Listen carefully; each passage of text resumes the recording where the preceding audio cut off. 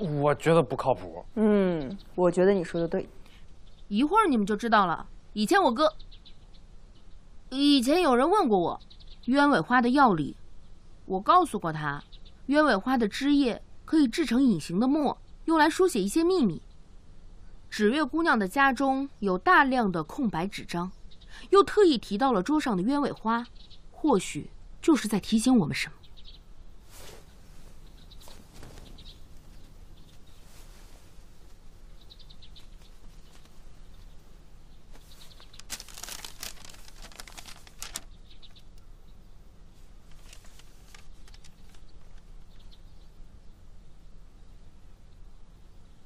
哎，有了，有了，有了，真有了！这么神奇？你看，本官还要跟你继续喝，喝趴你。菲儿姑娘，你之前一口叫出我的名字，莫非是认识我？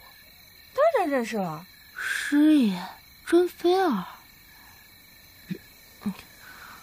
你不记得我了？居然不记得我了！哼！